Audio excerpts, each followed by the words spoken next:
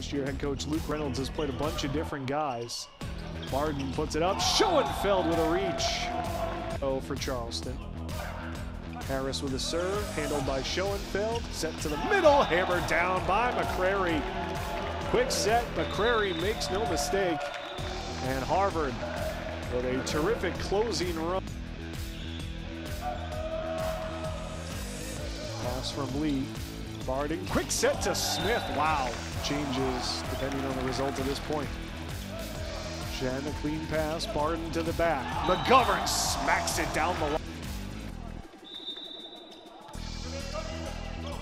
Lee with a pass. Barden.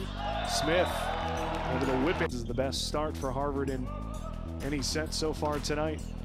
Vasquez pops it up. Villafane overpass and Schoenfeld sent to the back.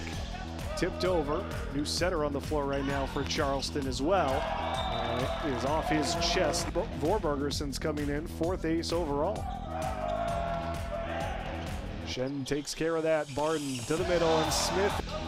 Vasquez to the bench. Vorberger brings it back. Sent over by Harris. Schoenfeld, the hand pass. Barden to the middle and it is ripped. Vasquez again.